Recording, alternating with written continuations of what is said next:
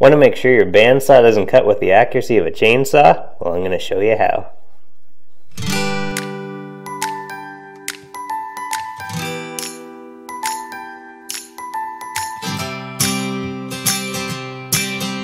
Hey guys, welcome to another episode of DP Shop Talk. Today we're going to be taking a look at bandsaw basics.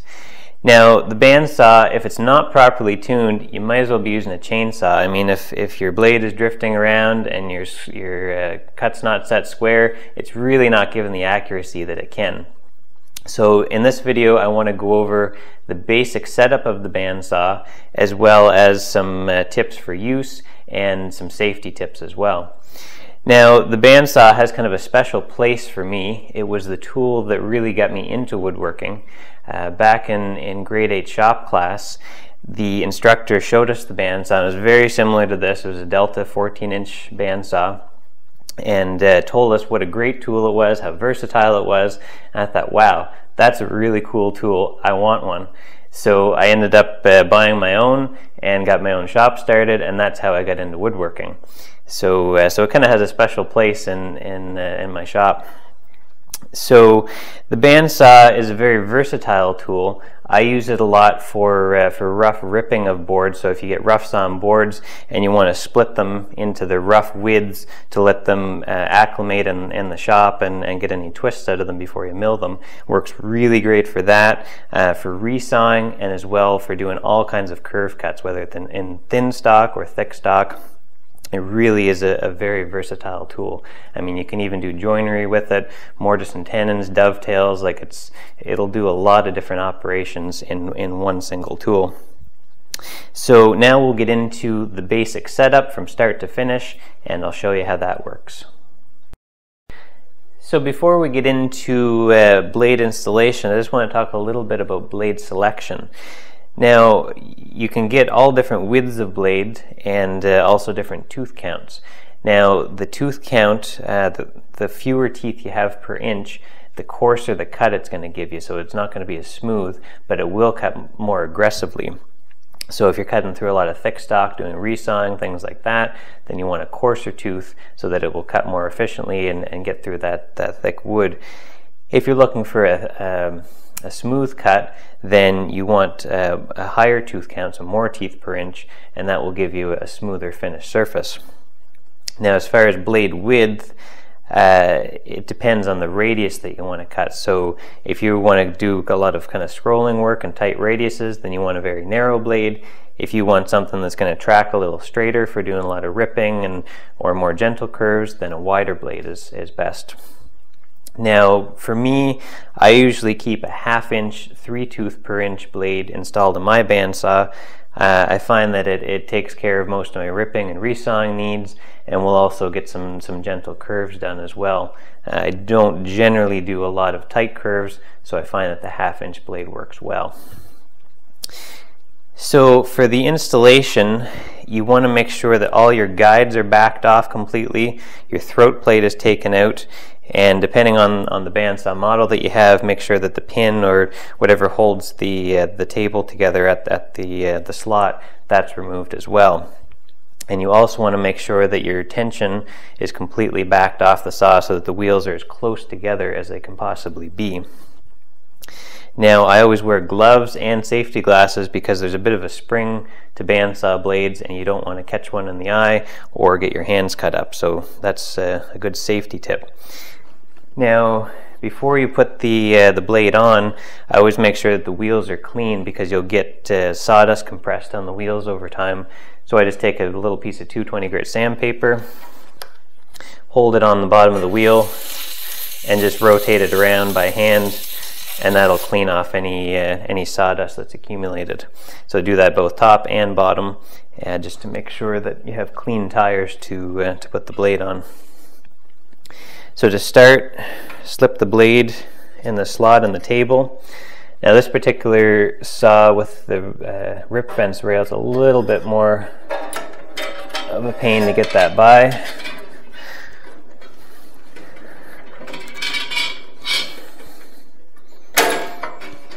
So you start by getting it set on the lower wheel first. Like I say, with, with the spring and the blade, it's a little, a little unruly to, uh, to work with sometimes. Once it's onto the bottom wheel, then get it set onto the top wheel. And just try and center it as much as you can on the tire and make sure that it's going in between the guides.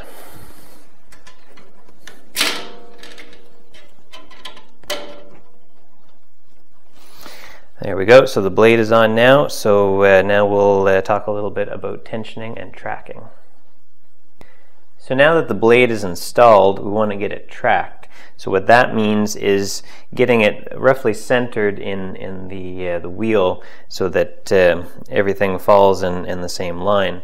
Now what you want to do is add a little bit of tension to the blade just to kind of pull it taut and, and get rid of that spring that's in there.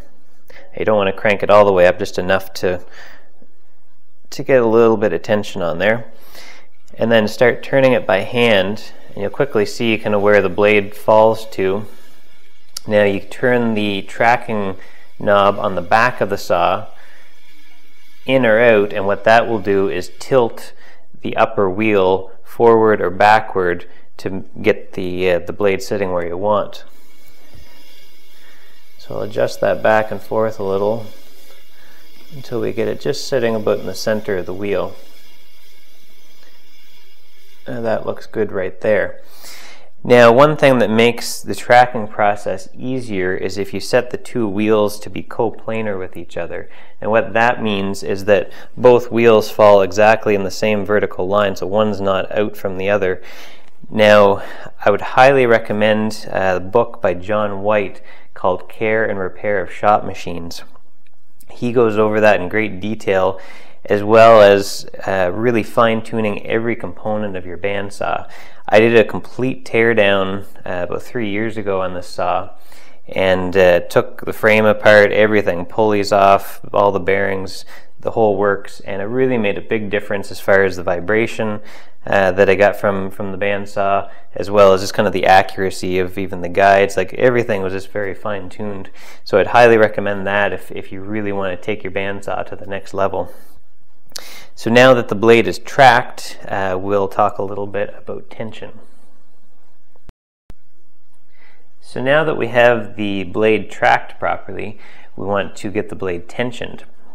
Now, there's a lot of different methods that you can use, um, from tension gauges to methods with uh, deflection of the blade.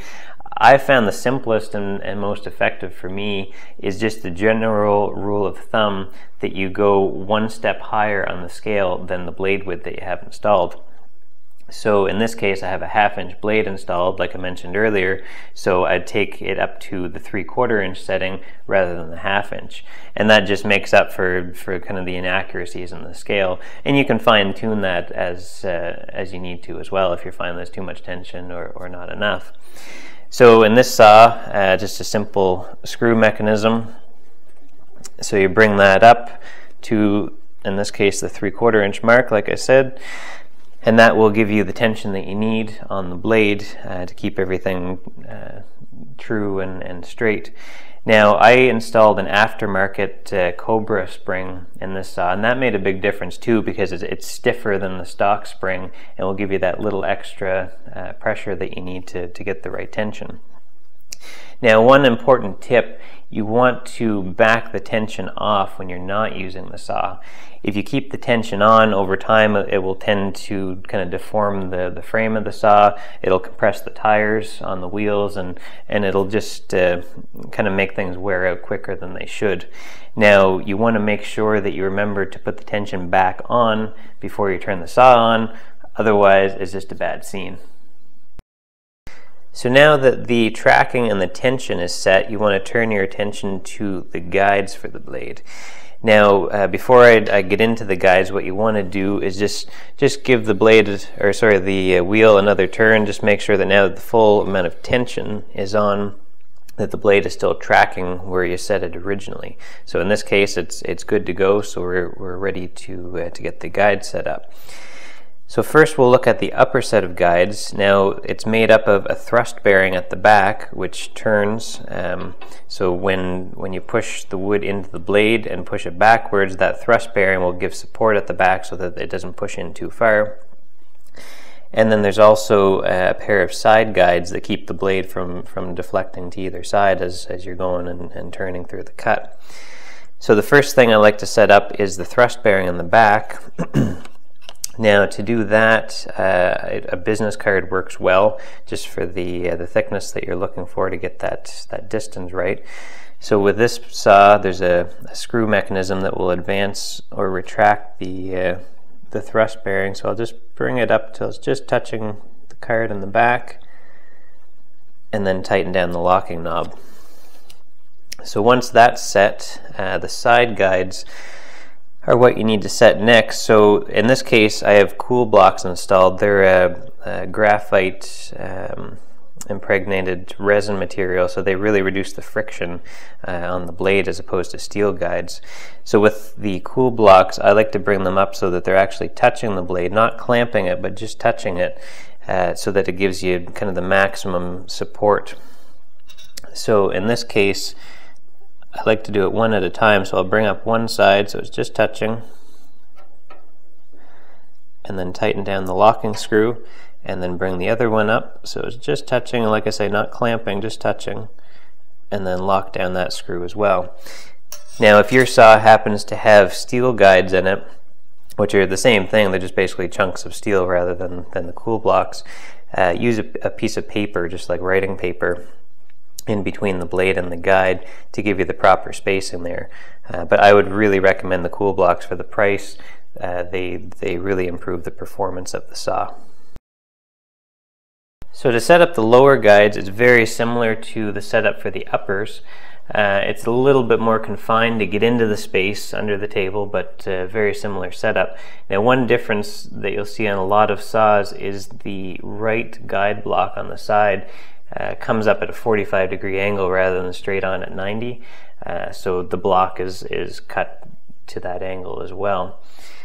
So again, slip the, uh, the business card in behind, or you can use a set of feeler gauges if you have those in your shop. A business card is a quick and easy thing to, to grab. Bring that bearing up so it's just, just the thickness of the business card away. Dial that in and uh, the same procedure for the guide block. So you want to push that against the blade on one side lock that in. Same thing from the back. You have to kind of get your hand up underneath the table push that block in and tighten that down. Now one thing I wanted to mention as well about the guide blocks is the distance front and back you want the gut, the front edge of, of the, uh, the guide block to be just behind the gullets and the teeth, so just those recesses in between each tooth, so that when the blade is, is pushed back, when, when you start to cut, you don't want those teeth to contact the, uh, the face of the guide block. You want them to be clear of it. Now, you want it as far forward as possible to give you the best blade support, but far enough back that uh, that it doesn't make contact with it. Otherwise, it's it's going to chew up your uh, your guide blocks as you cut. So now that uh, the guides are all set, I've put the throat plate and, and the blade guard and the table pin back in so that everything's kind of reassembled again. And then just as a double check, I like to just rotate the blade by hand and just make sure that it's not uh, binding on any of the guides or anything after those have been set. So everything looks good here. So at this point, I like to close it up and we'll plug it in. Now everything I've done to this point, the saw has been unplugged. It's very important that you don't have any power going to it uh, when you're doing any of those procedures. So we'll plug it in and turn it on.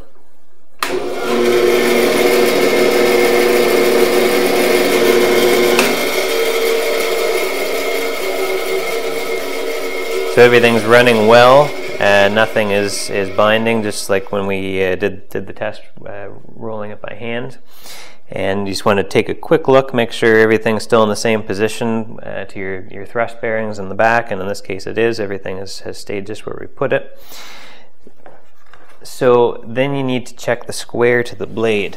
And again, we'll unplug the saw after we had power going to it. So I'll raise the guard up so that we have some clearance there. And just stick the square on the table and check to see if it's sitting square to the blade. So in this case, it's just a little bit off. So you can loosen the knobs below, which will unlock the table and you can just tune it to be just where you want it and lock it back in again. So now you know that when, when you're cutting, uh, your cut will be square to the table and also that, uh, that references the fence as well, which we'll get into next. So if you have a fence for your bandsaw, you need to set it up to account for blade drift. Now blade drift is the natural tendency to cut kind of bias to one side or the other. So to uh, to set that up and, and find what that angle is that you need to set your fence to, uh, you just take a, a, straight board and scribe a line parallel to one edge. Doesn't need to be set at any particular distance, just as long as it's parallel to that edge.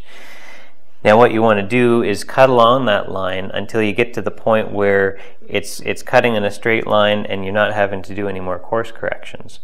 And then at that point, we'll stop the saw and hold it in place, and that's going to give us the line that we want to, uh, to set our fence to.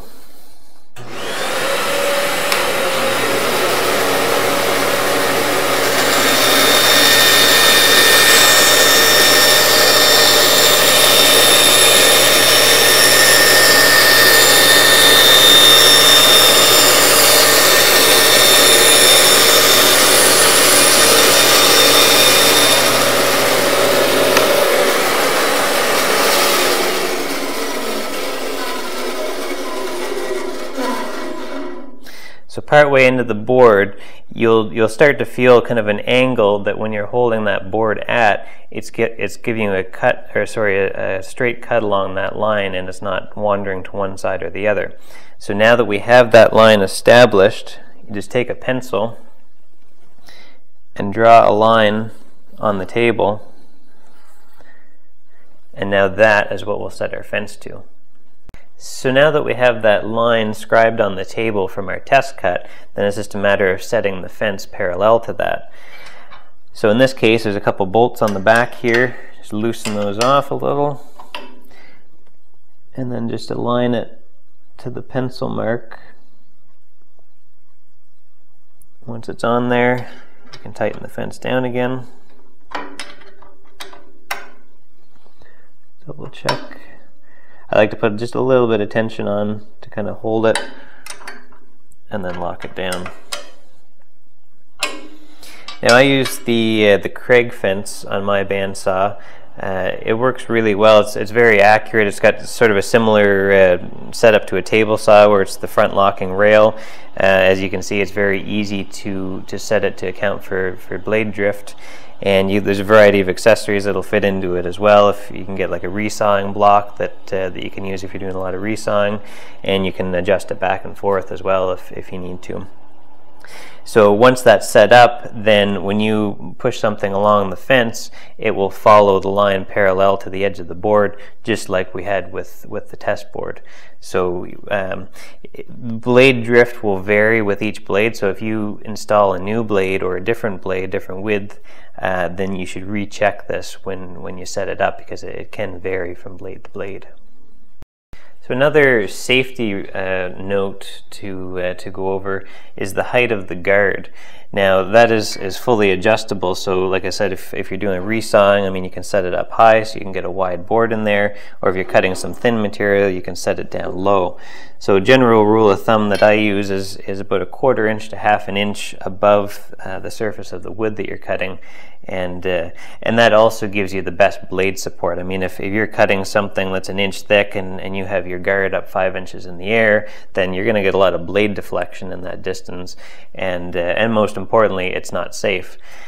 Uh, now, when you're cutting, you can kind of feel the feed rate that the saw wants to cut at. If you have a more aggressive tooth like this three tooth per inch, uh, you can get away with, with a faster cut usually. If you have a finer blade, then you have to slow down a little bit. So you can usually feel kind of the, the happy medium where the saw wants to cut. So it's, it's not being overfed and, and bogged down, and you're not cutting too slow and, and sort of burning the work either.